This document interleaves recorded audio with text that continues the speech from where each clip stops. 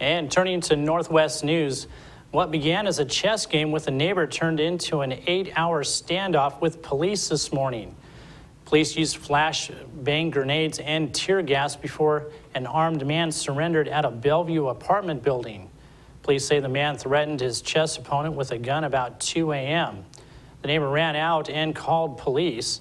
The armed man remained inside, ignoring calls from a SWAT team to surrender, snubbing a visit from a robot and a camera, and resisting officers lobbying flash grenades and tear gas canisters. The man finally surrendered after 10 a.m., waving a white flag out his window. He was arrested for investigation of assault. Some other residents in the building were evacuated, and nearby streets were blocked during the standoff. An unusual new military ship is headed to Everett for final sea trials.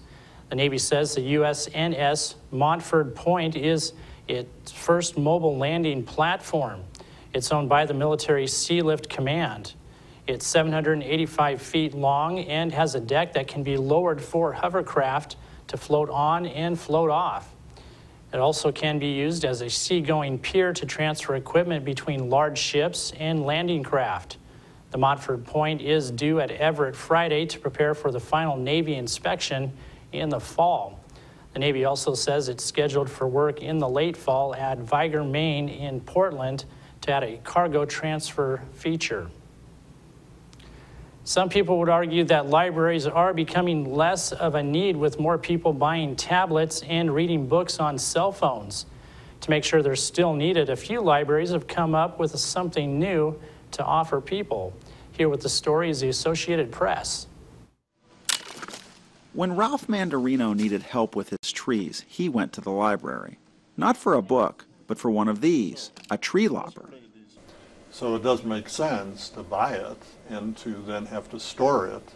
The Grosse Pointe Library offers more than a hundred tools, making the back room where they're held look more like a hardware store than a book lending center. I love to work outside, so the tools that they have here, which I need, are perfect for my, my needs. It's not just tools. In public libraries across the U.S., people are checking out much more than reading materials.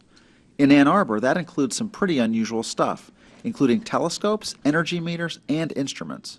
We can't be everything to everyone, but we can provide a lot of opportunities to people to try out new things.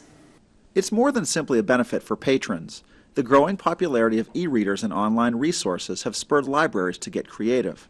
So they are willing to explore ways to build up, not cut down, their value in the community. Mike Householder, Associated Press.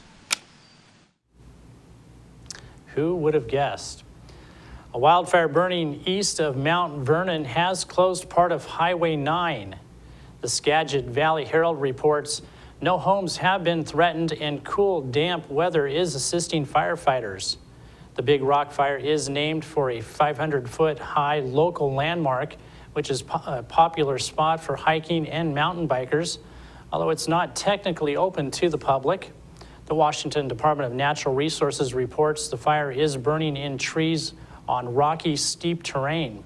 Fire officials have not determined the cause, but suspect it might have been started with a campfire. To help fight the fire, Highway 9 was closed at times today, and a helicopter is dropping water on the hillside. That's going to do it for us here at iFiber One News. We want to thank you for watching, and we'll see you again tomorrow night.